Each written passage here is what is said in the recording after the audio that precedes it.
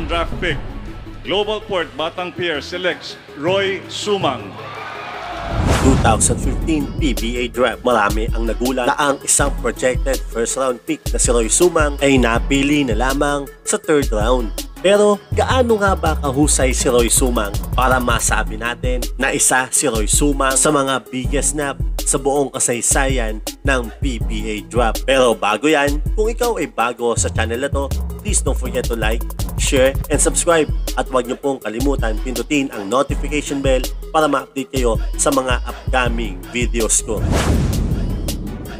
Pinanganak noong December 12, 1990. 5 foot 8 at tubong Tondo, Manila. Nag-aral ng high school sa Letran at naging varsity ng UE Red Warriors sa UAAP. Sa kanyang karera sa basketball, ang labanang Roy Sumang at Terence Romeo ay isa sa mga inaabangang match-up sa UAAP. Umakyat sa PBA taong 2015 at marami ang nagulat na mapili si Roy sa third round na ine-expect ng karamihan mapipili siya ng mas maaga. Sa ating edisyon ng video na to, ating babalikan ang ilan sa mga highlights ni Roy Sumang na pag-iiwanan na nga ba siya ng kanyang college rival na si Terence Romeo? O baka naman sadyang hindi pa niya na ilalabas yung kanyang full potential sa PBA.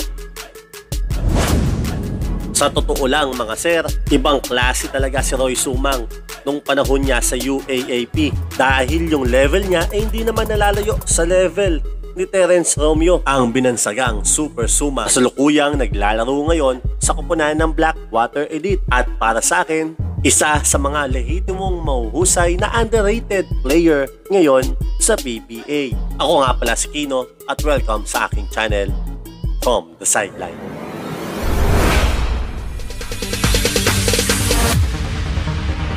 No, there ain't no stopping us. Fly without boarding pass. Couldn't catch me, I be moving fast. Call me a shooting star.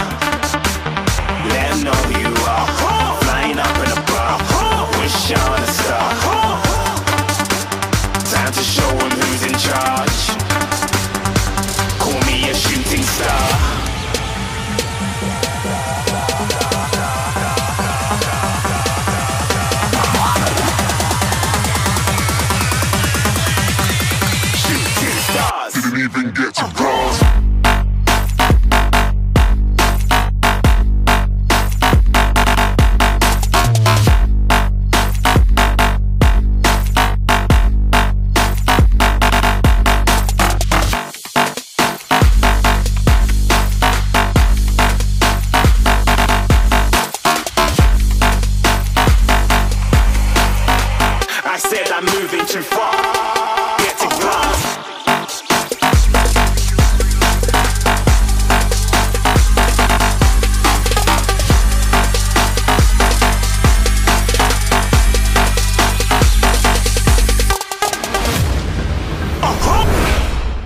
Shoutout kay Kuya Win TV, Rico Serenado at Jevi Jan Resultay.